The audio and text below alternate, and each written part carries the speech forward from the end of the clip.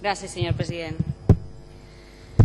Mire, senyor Marí, jo porto 8 anys en les Corts i crec que feia temps que no veia un debat tan absurd, amb tan poc de fonament, amb tan poc de perspectiva política i tan irresponsable com el que vostè ha fet en esta trona. Li ho he de dir, però ens ha servit per a una cosa, i és per a fer una foto de lo que vostès venien avui a dibuixar en este escenari. I és la foto del qui vol construir diàleg, canvis, reformes, consensos i avanços en el nostre estat democràtic, els que volen l'immobilisme que han creat i han generat un problema insoportable i els que són una còpia barata del Partit Popular, que és el que vostès han demostrat avui així. Una còpia barata del Partit Popular.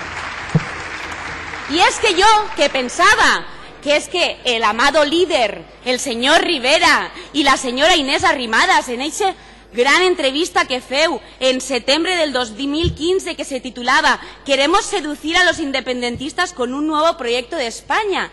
I jo me llegia i tenia contingut l'entrevista.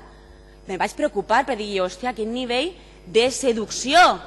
Però no, és que el nivell de seducció del senyor Rivera i Inés Arrimadas arriba al punt de mirar-se a l'espill i somriure-se a ells mateixos. Sols se seduïxen en aquesta política a ells mateixos.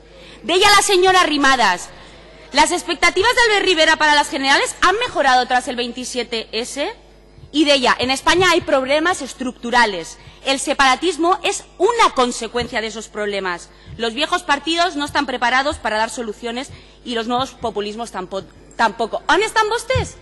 Si li hem presentat una esmena que parla dels problemes dels problemes que, segons Ciudadanos, generen una conseqüència, que és efectivament tindre este debat. Com volen resoldre vostès el problema? Anant a la font. Però de què estem parlant? Anant a la font. I és que necessitem canvis, canvis en el nostre règim constitucional, canvis en la convivència, en la manera en la manera en la que ens mirem a la cara entre territoris i ens reconeguem. I ens reconeguem i ens respetem. Perquè, efectivament, Espanya no és el tot per el tot. Espanya seria una gran nació si mos respetàrem aquells que estem confluint en esta Espanya de tots. Perquè, miren, jo li vaig a dir una cosa.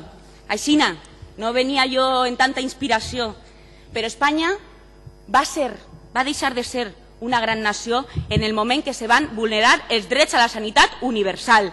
Va deixar de ser una gran nació quan en volta de dedicar-se a fer una educació pública garantida per a tots els xiquets se dedicaren a espanyolitzar a los niños catalanes.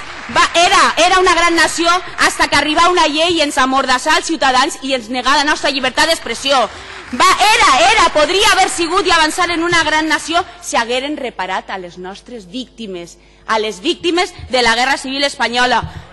Podria haver sigut una gran nació, una gran nació on els ciutadans se reconegueren en aquesta gran nació i se sentiren orgullosos si el dia que milers i milers i milers de signatures d'una ILP promoguda per la PA va arribar al Congrés no hagueren tingut que sentir al Partit Popular dir que no l'han a, a tramitar i van tindre que haver tres suïcidis aquest dia. Tres suïcidis per a que el Partit Popular reconsiderara la seva postura de vetar una ILP a favor de la vivenda. Mireu, i també, i també serem capaços de construir entre tots, entre tots, els catalans, els extremenys, els valencians, els bascos, construirem una gran nació si deixem els missatges de Luis E. Fuerte, los delantes, los detrás, de Camps, el aeropuerto del abuelito, a priorizar lo nuestro a lo de los negratas, que és el que alguns s'han dedicat a fer en les nostres institucions i ens avergonyim. Clar que sí, aquells que ens sentim espanyols, aquells que ens sentim espanyols, ens avergonyim ens avergonyim de que una Espanya no siga capaç de construir una gran nació en convivència, en diàleg, en consens i en capacitat de respectar els drets de la ciutadania. Ens avergonyim. El dia que vostès estiguen disposats a construir aquesta gran Espanya, compromís estaran vostès. Gràcies.